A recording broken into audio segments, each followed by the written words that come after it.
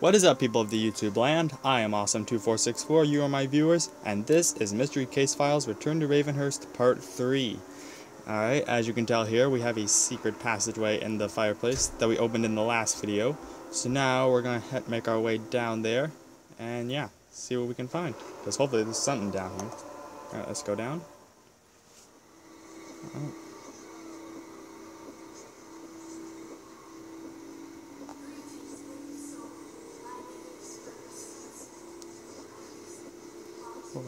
It can't be the...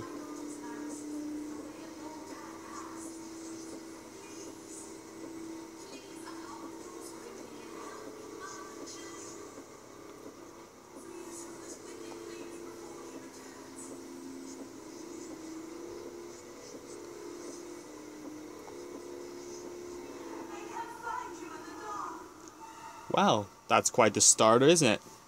Uh, yeah, Rose Somerset. I'm sure a lot of you know that name by now. my heart is racing. I can barely keep my fingers clutching my pen, let alone update my case report with the account of the specter I just encountered. After climbing down a secret staircase to, into a hidden room, I was approached by a woman dressed in rags who introduced herself as Rose Somerset. Could this be the missing nursemaid from Emma's diary? She pleaded with me to unlock the doors and locate her and her children. I'm afraid of what might happen, what I might find if I do. Alright, so there we go. So these must be the other souls Emma was referring to that are still trapped in the house. Yuck, I don't want to pick that thing up. Uh, uh, oh, okay, we have some light over here. Oh my. how did the detective miss all this last time? I don't get it. Pipes carry strange fluid above the doorways. Oof. Okay then. See what we got here. Looks like two kids right next to each other, uh, a hooded man, and a young woman up here. Uh, let's check this out first. Ooh, Two creepy little girls are carved into the rotting door. Creepy that is. Uh, let's see. The marbles in the middle of the lock appear to be missing. Okay, so it looks like we gotta find four marbles somewhere. So what do we have here? A typewriter. All keys proceed in his name. I would try Charles of all things, but it looks like we don't have all the keys yet for that. Yeah, it looks like we gotta find some typewriter keys. To typewriter key. Okay, so that's one. Alright, but we still got one, two, three, four, five, six more to find somewhere. Alright, I guess that's good enough. Let's, let's check out this one. Oh, okay, not much here. let's see, what do we got here? Okay. Uh, let's see, what do we have here? Oh, hold on. These numbers are flashing here. 71... So 71 plus 4. That would be 75. Okay, let's try this. Alright, assume that's what that's for. Uh, let's see. Alright, let's go to green. 71 minus 64. Uh, would that be four, five, six, seven, eight, nine, ten. That would be what? Four, five, six, seven, eight, nine, ten. All right, so that would be seven. All right, so green is seven.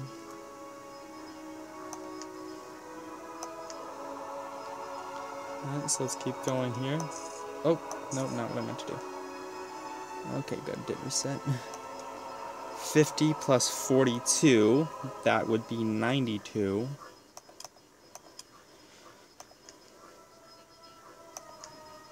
That just leaves blue here. 68 minus 50, that would be 18. Alright, simple enough puzzle. Alright, let's check it out then. Oh my. What do we have here? Welcome to Roseville, population 1. This place is some kind of strange subterranean town. Hmm. What do we have here? Standard procedure. Number 1. Absolutely no outside communication. Lock tampering shall be severely punished. Exit permitted only for nourishment and work detail. Exercise beauty shop facilities regularly to maintain hygiene. No diaries, journals, notebooks, or logs. Disobedience invokes a 30 whack minimum. Your brief journey serves only my continuance. Keep your big yap shut. Know I, that I preferred Emma, and our hearts shall forever be as one. That's quite a list of rules there, isn't it? From a creepy antechamber, I pass into from from a creepy antechamber, I pass into what can only be described as a small underground living space, or more accurately, containment space, as noted by the placard in front of me. This place appears to be some sort of jail. Among the disturbing rules displayed on the on the sign is entry number five. It appears as if Charles what it appears as if Charles meant for no one of those who dwelt here to be preserved. I'll move ahead and try to learn more about the purpose of this secret substructure, if I don't lose my nerve. Yeah, quite a creepy looking place we got here. Alright, let's solve this puzzle. A baby. Ooh. Oh, no, I guess that's not a baby. Uh, okay, let's see here. Fishing reel. Wow, I cannot find anything here, can I? it looks like I'm losing my focus. Okay, golf clubs. Okay, that's something. A heart. Alright, there's that. Pineapple. Uh, I thought I just saw that. There it is. Clock. A long stick. At least I, yeah, I guess that's a long stick. Sunglasses.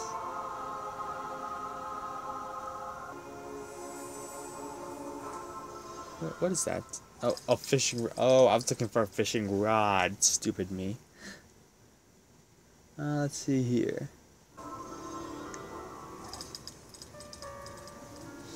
Yeah, again, I, I know these puzzles, these High Spy hidden puzzle games are what made Mystery Case Files what it is, but at the same time, I'm not really that good at, or quick at them, I should say. yeah, in case you haven't noticed, a lot of these uh, puzzle game, they are the hidden puzzle games are like cut out a lot. Because if I did, if I didn't cut them out, the videos would be too long. yeah, the hints load back too slow, which I guess is kind of a good thing, because in the newer Mystery Case Files games, the hints can come back super fast, which it can be used to your advantage, but at the same time, it is easier to like cheat or not do well that way. Really? Alright, after all the effort, we get a stick. Really? oh, yeah, yeah. Alright, let's check out this general store, it looks like. Uh, another, really? Okay, I'll go back to you in a minute. See, the storage facility is rep replete with various provisions. Oh, several creepy restraining devices are hung from the rafters. Yeah, I'd say so. Uh, looks like some sort of power circuit. Uh, an old article detailing a supernatural sighting. Uh, yeah, I'm not gonna read that, but looks like unusual sightings at Blackpool. Uh, Lucky 15. The number 15 has something to do with this? Oh, clearly, I guess. Hmm. Okay. I'm gonna take a guess here say it has something.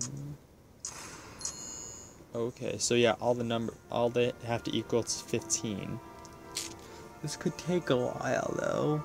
I'll see what I can do. There we go. That was actually kind of random guessing. Oh we got a marble. Okay I think we need those. 5392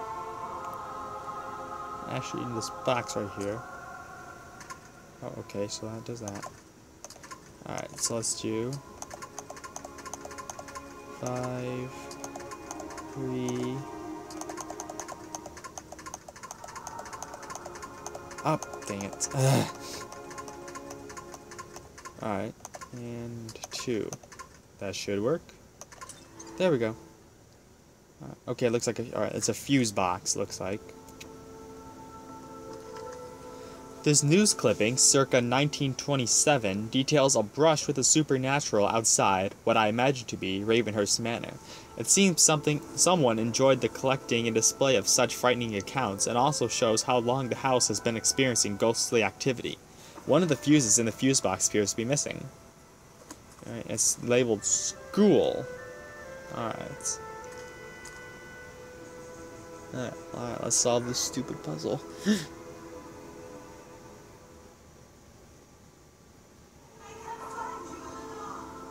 yeah, I'm sure you wouldn't be able to find anything in the dark.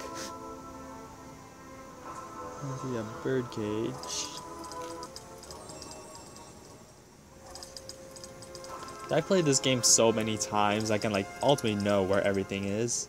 But I haven't played in a while, so sometimes it takes a little refresher. Alright, another marble.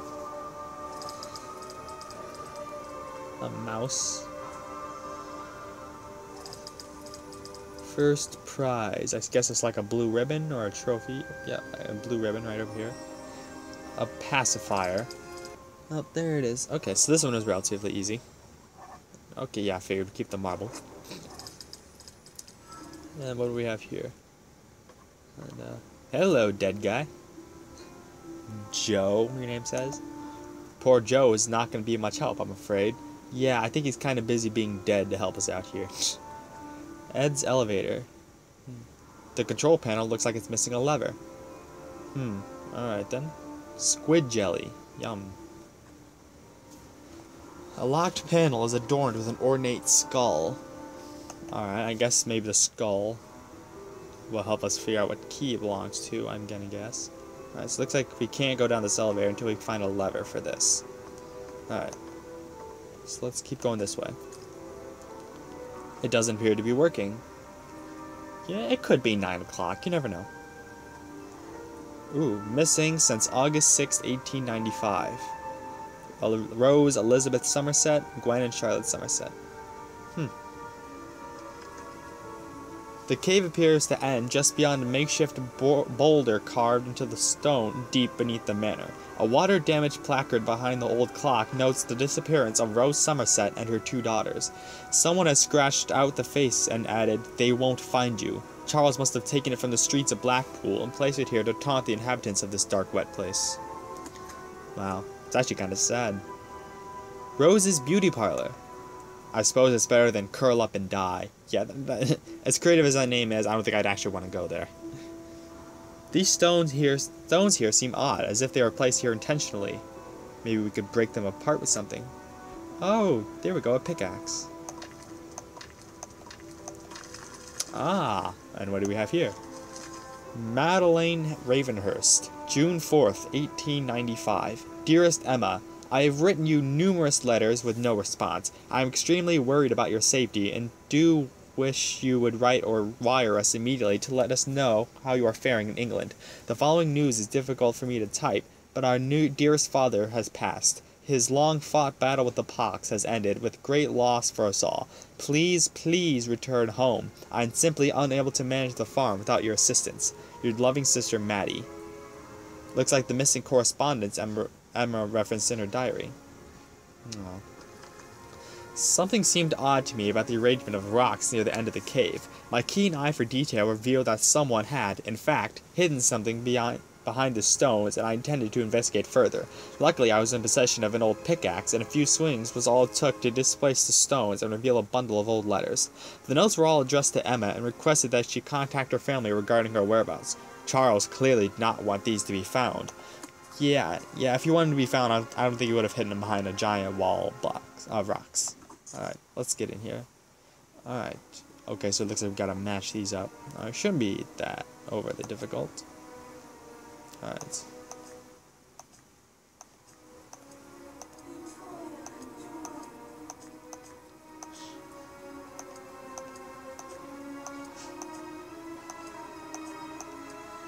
Uh, yeah, this puzzle is actually is one of the easier ones in the game. It's very time consuming though. Alright, so that's one. Now we just gotta swap these two out, which again shouldn't be that overly difficult.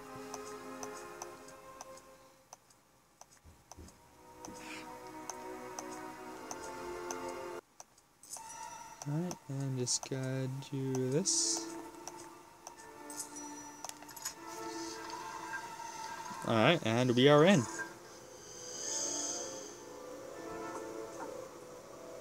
Ooh, definitely deserted. Rose must have been healthy for hours, if not days. How ghoulish. Hmm. Charles must have wanted Rose to keep up her girlish figure. Oh, that's sweet. After all, you know, after kidnapping her and locking her in this prison, he still wants her to look beautiful. How sweet. This oddball contraption looks like some looks like a weird hairdryer. Local man cleared of charges. Da, da, da, Mr. Dalimar was accused in the kidnapping of Rose Somerset and her twin daughters, Gwen and Charlotte Somerset, earlier this year. Mrs. Somerset was briefly employed by the accused as a live-in nursemaid for Dalimar's family friend, the American Emma Ravenhearst. Miss Ravenhearst could not be reached for comment. Ain't that suspicious? Uh, that man is a liar and cannot be trusted, exclaimed Reginald Somerset, husband and father to the missing parties. A strong alibi and lack of physical evidence clear the accusation of the allegations. The victims remain at large. Wow. So they even thought it was him. I found an old newspaper clipping that details Charles Dalimar's involvement in the Rose Somerset kidnapping case. He appears to have been proven innocent in the matter, but I clearly believe otherwise. Alright, and... Uh, excuse me, miss, I think you broke your neck. Maybe. I don't know. Alright, another one of these. Oh, another marble. You know that's good. No, no, we're just gonna keep that right away. Hmm. Oh, there's a violin. There's a handbag. A brain. Ew, that's a little gross. Uh, hint. Okay. Oh. Uh, and yeah, keep the marble. Alright, let's head this way. Uh, the, a thin groove appears etched to the plaster on the wall. A cry for help scratched the stairs sends a, sends a chill down my spine. These guys are a little creepy. Oh. oh.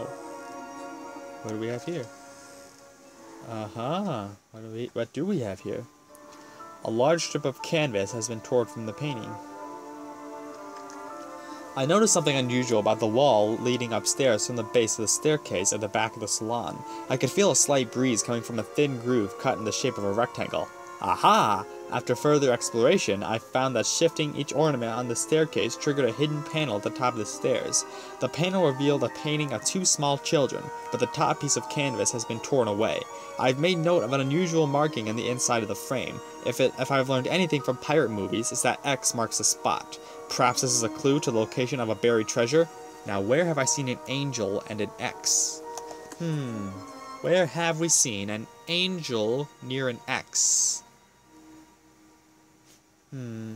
Oh, the garden had that angel statue that somehow left a strange uh, X in a shadow.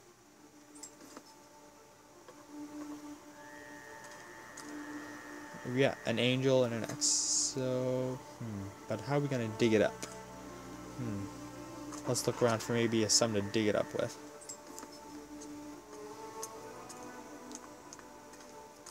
Oh, pff, a shovel right here. How convenient. Alright, oh, yeah, no, we're not trying to use a stick. Yes, I know you have to break windows to solve a mystery. Alright, let's dig this up. Up too deep. Wow, that wasn't very deep, actually. Alright, so that clearly is the top of a painting. Uh,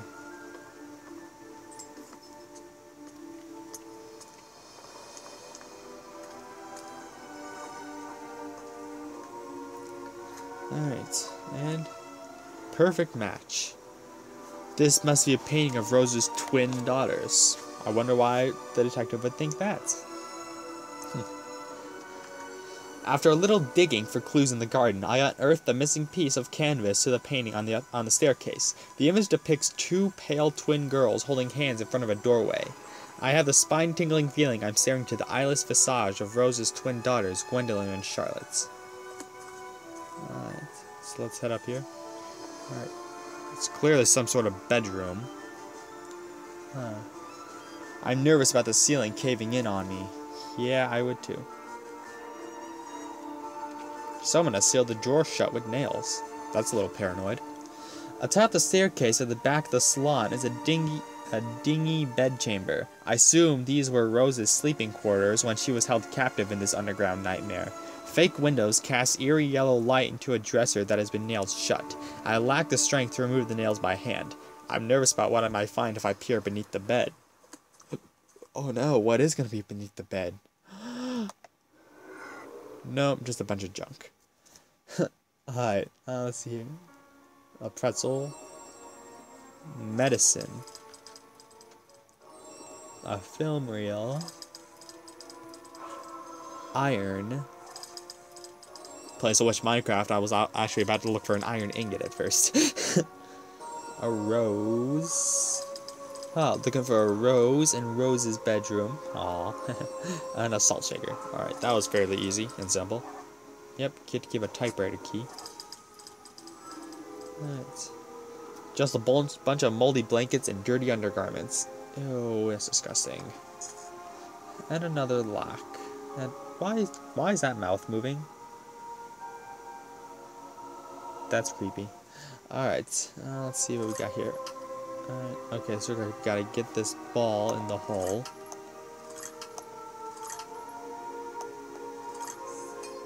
Nope. Hmm.